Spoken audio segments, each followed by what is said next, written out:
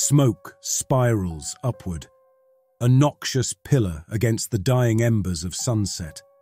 My boots leave crimson prints in the mud. Around me, the village burns, our handiwork reflected in the crazed eyes of ragged survivors. A lifetime ago, those eyes held fear, defiance, but now there's only blank horror. Ha! Now, that's a sight to warm a man's heart. Rovald's bellow slices through the crackling din of the fires. Even smeared with soot and gore, his grin is blinding. He claps me on the back, the force of it nearly sending me stumbling. Another village bites the dust, eh, Cormac? I force an answering smile, lips stiff and clumsy. The pillagers cheer, drunken shouts rising around us. We came for their gold, their grain, their women. All we've left them with is ash and tears.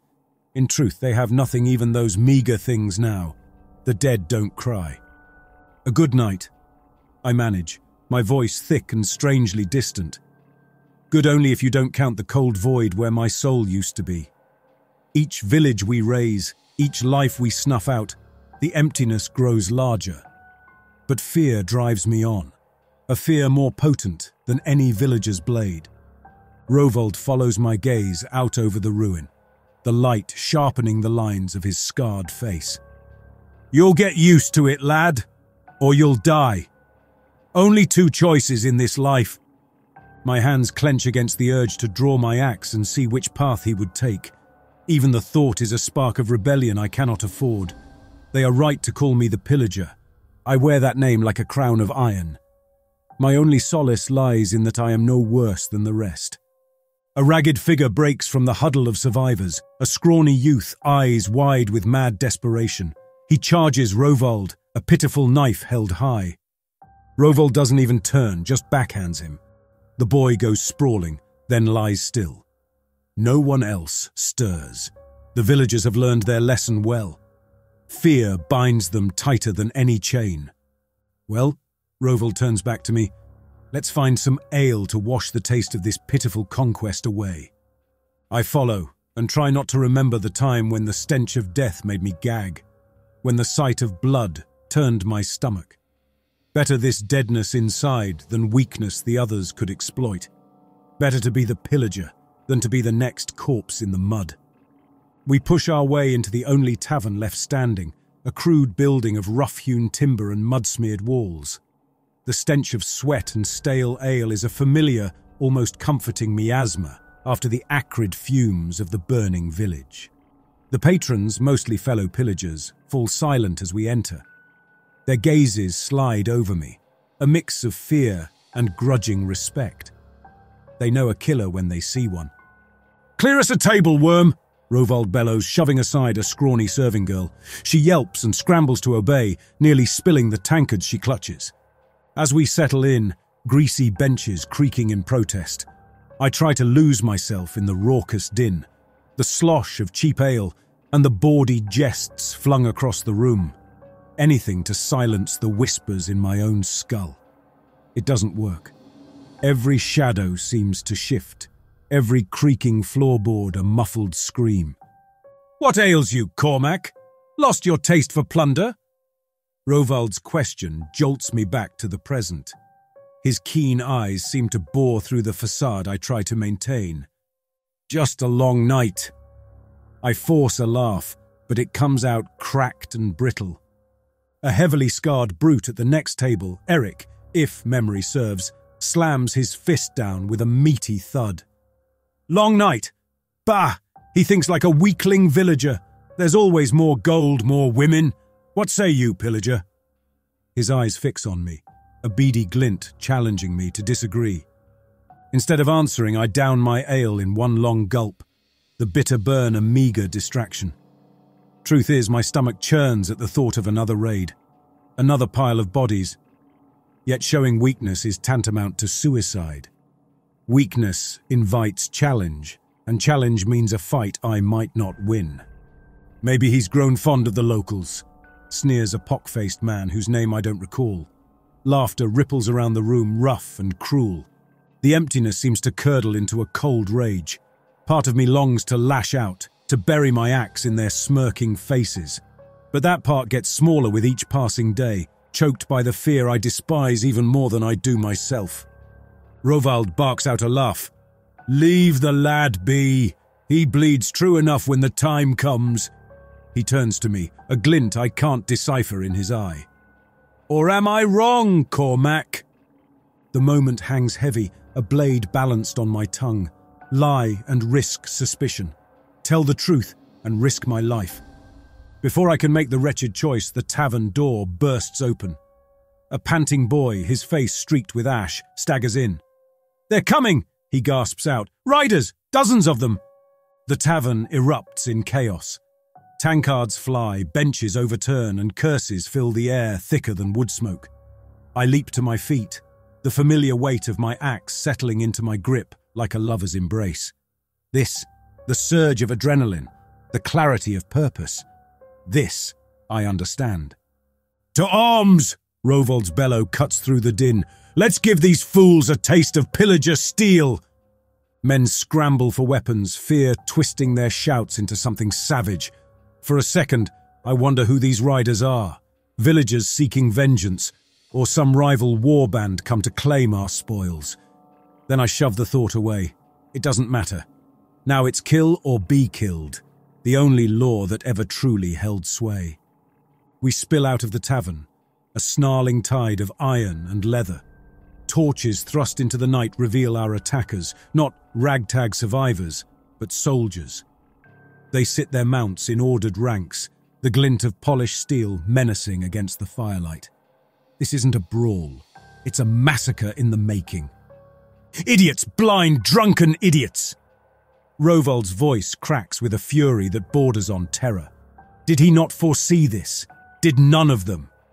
The soldiers surge forward, a wave of disciplined death. There's no time for orders, no shouted battle cries like in our usual raids, just a scramble for survival. The pock-faced man beside me shrieks as a lance impales him, his body jerking like a puppet. I swing my axe in a blinding arc, taking grim satisfaction in the crunch of bone and the wet spray against my face. But for every enemy that falls, two more seem to take their place. The pillagers break, scattering like panicked cattle. Some flee blindly towards the woods, easy targets for the mounted soldiers. Others, Rovald among them, fight back to back, a doomed island of resistance amidst the crimson tide. Someone collides with me, nearly knocking me from my feet. It's the serving girl from the tavern, her eyes wide as saucers. Run, you fool! I snarl, shoving her away, but she just clings to me with surprising strength. Out of the corner of my eye, I catch a flash of silver, an armored knight lowering his visor, bearing down on us. Time seems to slow, each beat of my heart an agonizing sound. I raise my axe, but it feels pitifully small against the charging destrier. A scream tears from the girl's throat. She throws herself in front of me just as the lance plunges and the world explodes in pain. Not my pain, miraculously. The lance pierces through flesh and whizzes past my ear. The girl crumples, a look of wide-eyed shock freezing on her face. I barely have time to register this before the knight is wheeling his charger preparing for another strike. Rage and terror explode in my chest, a volatile mix that drowns out reason. With a cry, I hurl my axe. It spins through the air, a flash of moonlit steel, striking the knight's helm and knocking it clean away. The rider slumps, his charger bolting in a frenzy. The world reels. A tremor ripples through the ground, shaking me out of my daze. More knights are thundering towards us, but with their leader down, there's a hint of hesitation in their advance. I snatch up a sword from a fallen warrior, its unfamiliar weight clumsy in my hand. I won't survive this, but every part of me screams to fight, to die with a weapon clenched tight, not cowering like a dog. Come on then, you bastards! I bellow, the words thick adrenaline. Then something astonishing happens. From behind me rises a ragged chorus. Rovald, battered and bloodied, staggers to his feet, a chipped sword aloft. Around him, other pillagers rally, those who hadn't yet fled into the night. They are broken, outnumbered, facing certain death, yet there's a wild, terrible light in their eyes that mirrors my own. The pillagers don't die on their knees. Rovald's voice is hoarse, but it carries through the sudden silence that falls over the battlefield. A cheer rises up. We meet the charge not as raiders, but as cornered beasts. We fight for nothing but the right to fall on our own terms.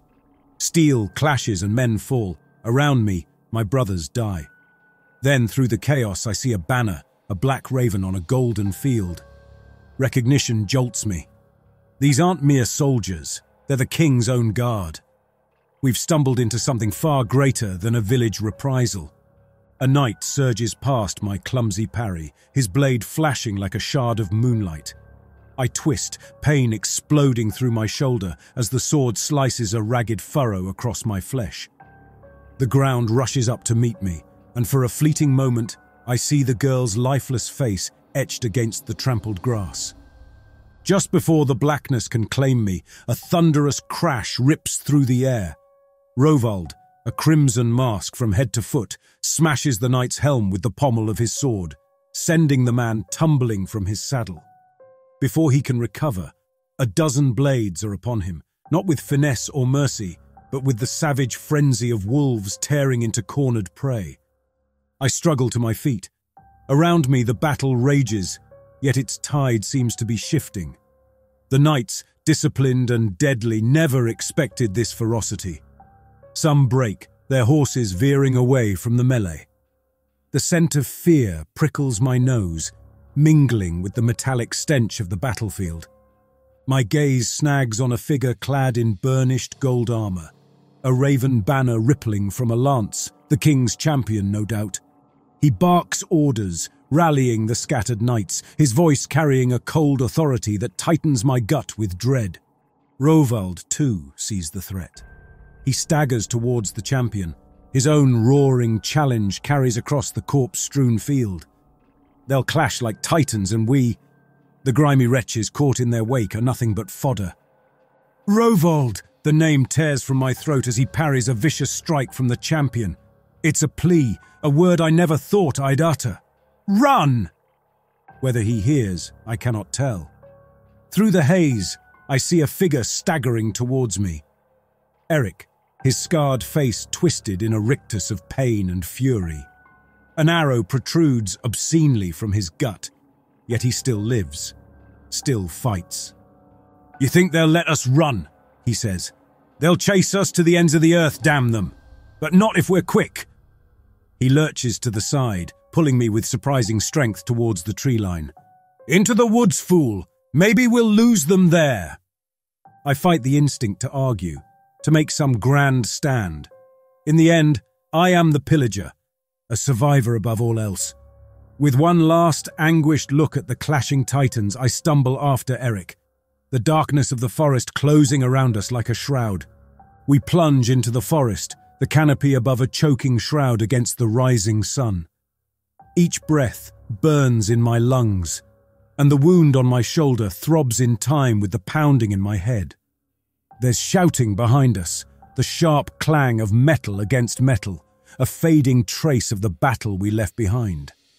Eric stumbles, a strangled cough escaping him. He leans against a gnarled tree, clutching at the arrow shaft protruding from his belly.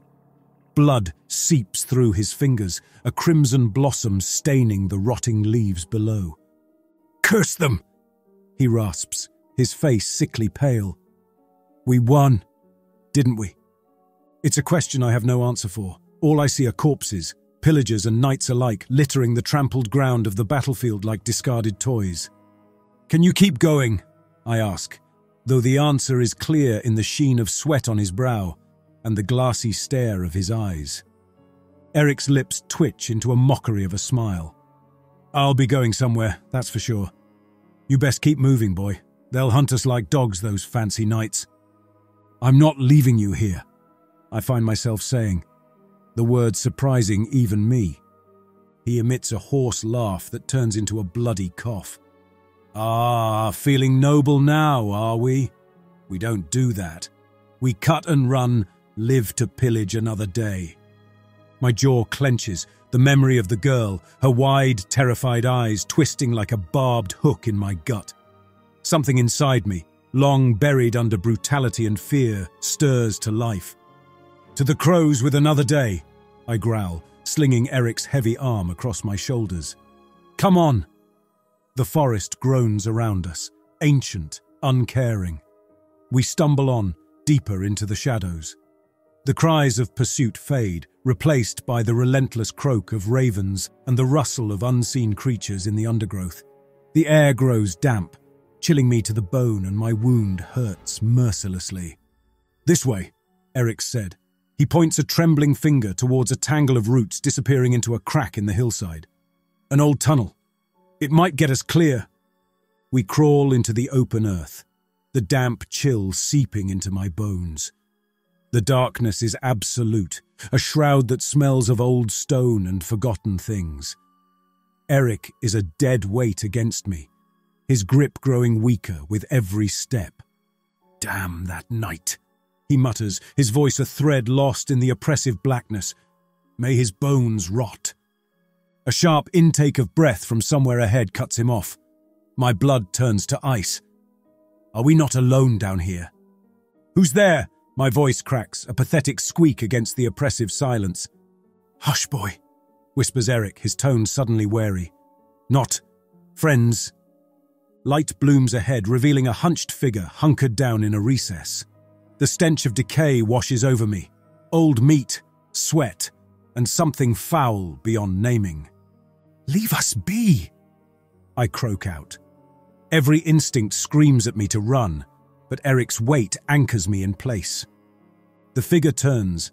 In the glow of a moss-covered lantern, I see eyes gleaming like yellow embers, and a mouthful of jagged teeth too numerous for any human mouth. It hisses, the sound a mix of snake and kettle. One scrawny arm reaches out, tipped with claws that glint menacingly. Eric groans, recognition dawning in his dimming eyes. Ghoul! The tunnels! They breed in the dark. Ghoul. One of the whispered stories, creatures spoken of in quiet tones around dying campfires. Carrion eaters, lurking where light cannot reach. The fear that choked me before the knights pales against the raw terror that grips me now. Cormac. Eric's voice is frail, barely audible. The sword, in my pack. I fumble behind me, fingers scraping against his crude leather pack. The sword! Steel might be our only salvation against this nightmare. My hand closes around the hilt. Run, boy, whispers Eric, and then his death rattle ends abruptly as the creature lunges. The ghoul's shriek pierces the darkness, a discordant cry of hunger and fury. I swing blindly, the sword slicing through fetid air. My ears ring with the sounds of Eric's death gurgle, the wet crunch as it sinks its teeth into him. Bile rises in my throat, a bitter counterpoint to the adrenaline flooding my veins. The lantern tips over, flames guttering and dying, plunging us into near total blackness. For a terrifying moment, I am blind, at the mercy of, of whatever this thing is. Then instinct takes over. I kick out wildly, my boot connecting with rotting flesh, sending the ghoul tumbling back with a snarl. Light flares again, not from the lantern, but from the creature's sinister eyes. They fix on me, hungry and glowing in the gloom. I raise the sword, my trembling hands barely able to maintain a grip on the hilt. Come on then, you bastard, I choke out, the words more a prayer than a challenge. The ghoul scrambles to its feet, it lunges, and this time my aim is true. Steel bites deep, eliciting a shriek that makes my eardrums throb. The creature thrashes, its claws raking at my legs in a frenzy. Pain explodes in my thigh. I roar, swinging the sword with a clumsy blow that severs one of the grasping limbs. The ghoul recoils, hissing and spitting foul curses I can only half comprehend. Yet it's wounded, and its burning eyes reflect something mirroring my own terror. Desperation. I press my advantage, slashing wildly and forcing the ghoul back. I stumble, losing my footing on the uneven tunnel floor. The ghoul seizes on the moment, leaping forward, teeth bared to tear out my throat. In a flash of motion and instinct, I roll, the creature's jaws snapping shut on empty air. Before it can recover, I slam the pommel of my sword into its skull with bone-jarring force. There's a crack, then the light in its hideous eyes gutters and dies. The silence that descends is absolute, broken only by my ragged panting. I lie there, trembling in the darkness, the smell of decay filling my nostrils. For a long, timeless moment, I think I might be just as dead as the creature I slew. Then a thin thread of light cuts into the gloom. The other end of the tunnel. My heart lurches. Freedom? Or another nightmare waiting in the shadows? Driven by a gut instinct, I stagger towards the distant pinpoint of light. Each step is agony. My burning thigh a constant reminder of the ghoul's parting gift. The stench of the creature clings to me, mingled with the rank dampness of the tunnel. As I approach the light, the tunnel opens up into a wider cavern, faintly illuminated by shafts of sunlight filtering through cracks in the ceiling. Forms begin to resolve out of the gloom, massive tree roots, thrusting through the earth like gnarled limbs. The cavern floor is littered with bones, some small and animal-like, others disturbingly large. My breath hitches. This is the ghoul's lair, littered with the leftovers of its victims. Nausea churns in my belly, a brutal reflection of the emptiness I'd worn like armor for so long. Is this what I would have become? Another mindless predator lurking in the shadows. Movement at the edge of my vision. I spin, sword raised. But it's only a cave rat, scurrying through a pile of bones with a squeak of terror. My shoulders slump in a mix of exhaustion and bitter relief. I'm alone. For now. The light filters strongest from an opening on the far side of the cavern. With a grimace, I push myself onwards. The opening isn't a natural exit, but a crudely hewn hole, barely large enough to crawl through. Emerging into the open air is like being struck blind. The sunlight stabs at my eyes, forcing me to squint against the glare. Slowly, as my vision adjusts, details come into focus. A winding path, the gnarled branches of ancient trees heavy with moss, the air filled with birdsong.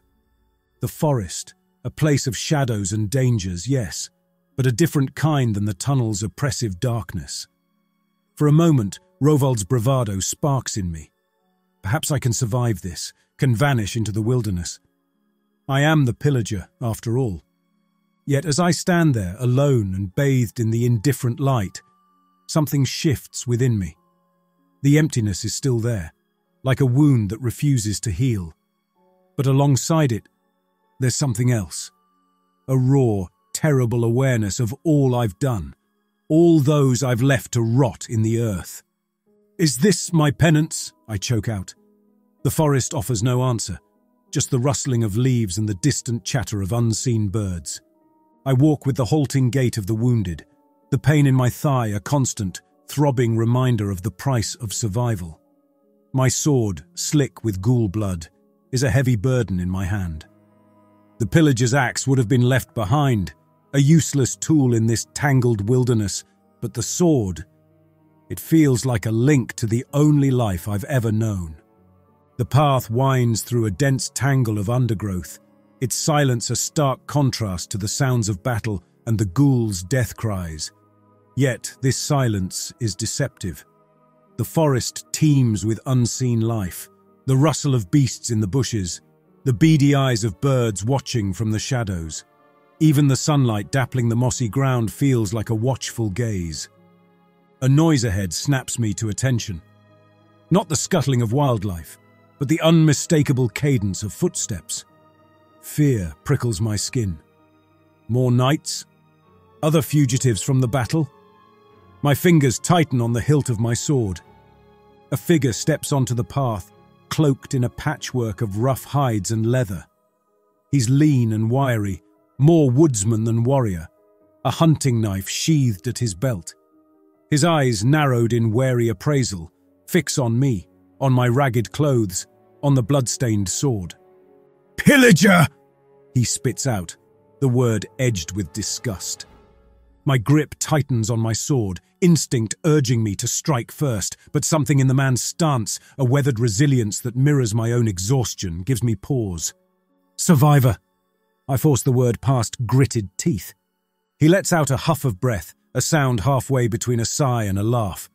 Aren't we all? Name's Bran, and Trouble seems to have a keen nose for finding you, eh? My own humour is brittle. Cormac. And Trouble is my middle name. Bran studies me for a long moment, his eyes scanning my injuries. Looks like you saw your share. Come on then, he grunts, turning back down the path. Best not to linger in these woods, not with the king's men sniffing around, and worse things than them come nightfall. Wordlessly, I fall into step beside him. The promise of shelter, even grudgingly given, is too much to resist. The forest thickens as we follow the winding path. Massive old-growth trees blot out the sun, their gnarled roots anchoring them to the earth like steadfast hands. I stumble more than once, pain lancing through my wounded thigh. Bran casts me a sideways glance, but offers no sympathy, just a terse, keep up. Where are we going?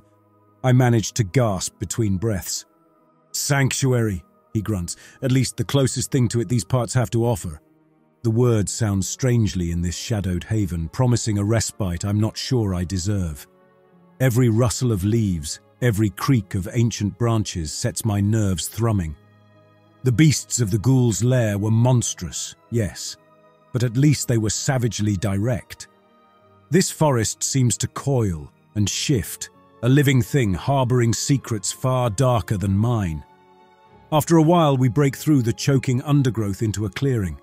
Nestled at the base of a moss-covered cliff stands a crudely built hut, more a hovel than a proper dwelling. A thin wisp of smoke rises from a hearth, and the faint aroma of stewing herbs cuts through the dank smell. Home, sweet home, Bran says with a note of wry humour. An old, scarred woman emerges from the hut, her frown deepening when she sees me. Brought astray?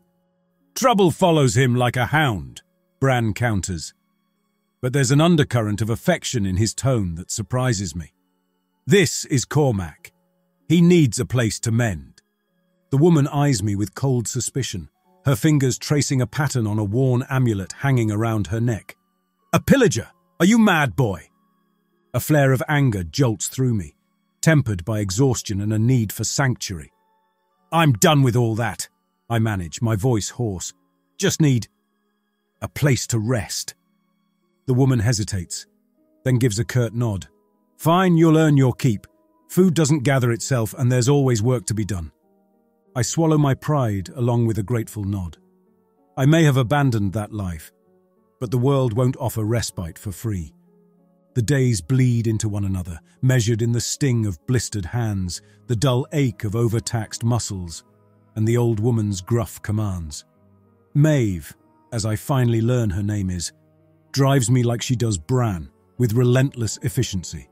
We chop wood, haul water, mend the thatch roof against the ever-present rain. I eat simple meals of foraged herbs and tough, stringy meat. My stomach never quite full, but the emptiness inside me fades, replaced with bone-deep weariness. At night, I collapse on the straw pallet, sleep a heavy, dreamless oblivion, yet even in rest, I am not free. The faces of the dead flash behind my eyelids, the tavern girl, her eyes wide with defiance, Eric, twisted in his final agony, the nameless villagers and knights. And even in the darkness, the forest whispers and watches. One particularly stormy night, after a day spent battling the relentless downpour, I lie sleepless as the wind howls around the hut like a mournful spirit. Rain seeps through cracks in the roof, forming cold rivulets against my skin. They're out there, Maeve says, her own pallet rustling nearby. She's referring to the creatures of the wood, the things that go bump in the night. I know, I whisper back, shivering against the damp chill. Not just the wolves, the goblins, she continues, a note of dread creeping into her gruff tone. They smell weakness, desperation. That's what drew the ghoul to those tunnels. It wasn't coincidence that brought that horror upon Eric and me. I drew the monsters with my terror and my guilt. Your kind brings darkness with you, pillager, Maeve says. It isn't a question, but an accusation. The emptiness in my chest constricts, threatening to suffocate me. I'm trying to leave that behind. A long silence falls. Finally, Maeve sighs, the sound heavy and resigned. Sleep if you can. Tomorrow we'll brew a warding draught. Might keep the worst of them at bay. Exhaustion finally overtakes me, and I drift into a troubled sleep. Dawn brings a fragile respite from the storm, the bruised clouds streaked with a watery, reluctant light. Bran and I venture deeper into the woods than usual, not to hunt, but to gather the strange gnarled herbs Maeve needs for her warding draught. The floor is awash with the smell of damp earth and fresh rain. The spirits are restless, Bran mutters, his eyes scanning the tangled undergrowth. The storm stirred them up, like ants in a kicked nest. I clutch my spear tighter, a pathetic weapon against the unseen horrors he hints at. Maeve said she can keep them. Away? My voice falters as something rustles just beyond our sight. Bran shakes his head. Keep them at bay, maybe. Drive the weaker ones back, but the big ones, the old ones, those are a different story. A chill snakes down my spine. What happens if they come? He shoots me a sideways glance that's more pity than scorn. Let's just say you don't want to find out. Best we collect what we need and get back under Maeve's protection. The unspoken truth hangs heavy between us. That protection is a fragile thing indeed. For the first time, I realize what these two hardened survivors have risked by taking me in. I was a walking curse, a magnet for death and darkness. We find the twisted blackthorn Maeve needs, its barbed branches gleaming in the weak sunlight, then a cluster of sickly sweet nightshade berries. As we make our way back, the tension grows unbearable. Every rustle, every snapping twig makes me jump, spear poised to strike at shadows.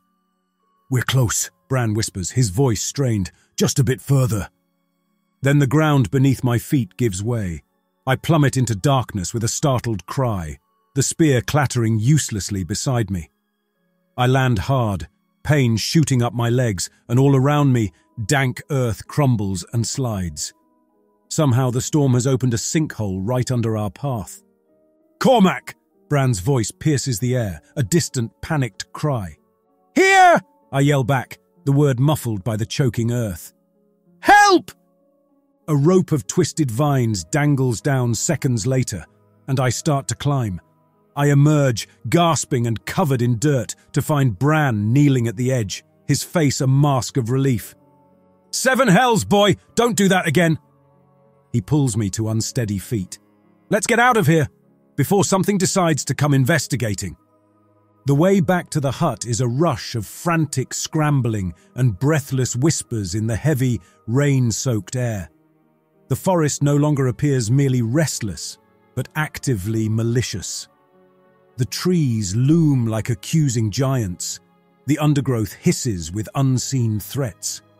A sense of suffocating doom hangs over us as heavy as the storm clouds above. I am the blight, the harbinger of misfortune. Maeve was right. We break into the clearing, relief washing over us, until we see the hut. It stands in ruins, shattered timbers, the thatch roof ripped away as if by some enormous claw. The crude hearth is overturned, ashes scattered like a dark omen. Maeve! Bran's cry is choked with anguish and rage. He charges towards the wreckage, and I stumble after him, heart hammering in my chest. We find her amidst the debris, her body twisted at an unnatural angle, eyes open and staring. Blood seeps into the rough-hewn floorboards. Fury and helplessness boil within me, a toxic reflection of the rage I felt so long ago at the burned ruins of my village. Who did this? The question rips from my throat, though the answer shivers in the air like a foul miasma. The creatures Maeve warned of, no longer theoretical. Bran's jaw clenches. Goblins would leave messier carnage. There are worse things in these woods, Cormac. Things older than men, with hungers men can barely comprehend. We have to track them, I blurt out. It isn't vengeance I seek, but some perverse desire for atonement. Maybe, if I can bring down the monsters who ravaged this fragile sanctuary, it might somehow balance the scales of my past. Bran looks at me as if I've gone mad. Track them? Boy, they'll tear you limb from limb. I deserve that. I speak the words flatly, and it feels like the most honest thing I've said in years. He stares, then gives a nod. Maybe you do.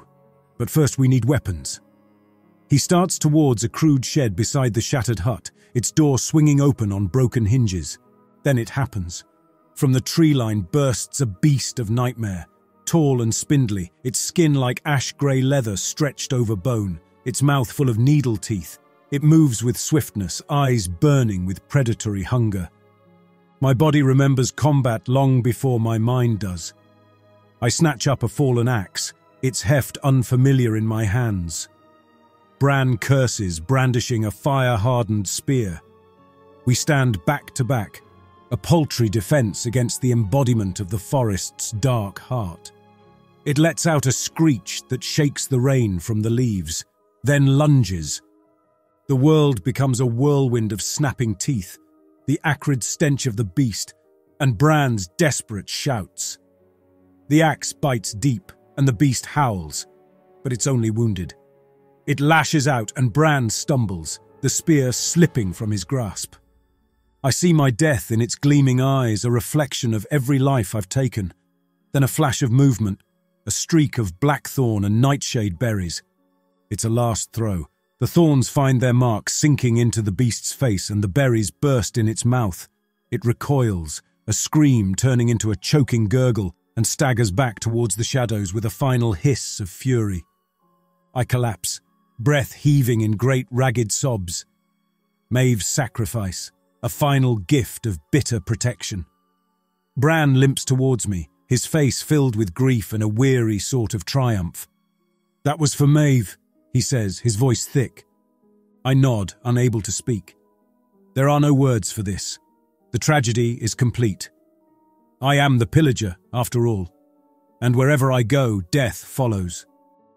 Years pass, marked by the changing seasons more than any calendar. I survive as Bran did, by becoming a creature of the woods. I learn to hunt, to set snares, to read the subtle language of the forest. But it's a solitary, haunted existence. Each rustle of the undergrowth brings a surge of terror. They say time heals all wounds. It's a lie. The grief over Maeve, the guilt over the nameless dead I left behind. These things fester, a rot in my soul deeper than any physical wound. The emptiness within me has transformed into something else, a cold, simmering bleakness that eats at my sanity. Sometimes, in the dead of night, I feel their eyes upon me. The villagers, the knights, the ghoul, Maeve. One day, stumbling upon a clear stream, I catch my reflection in the still water. The face that stares back is gaunt, feral, my hair and beard are streaked with grey, my eyes those of a hunted animal. This is what I have become, the ghost of a pillager, forever damned for the weight of my sins. Word reaches me, carried on whispers of wind and the frightened calls of birds, that the king's men still scour these woods. They seek remnants of the pillager bands, and perhaps the monster who butchered a solitary old woman and her kin. Let them come.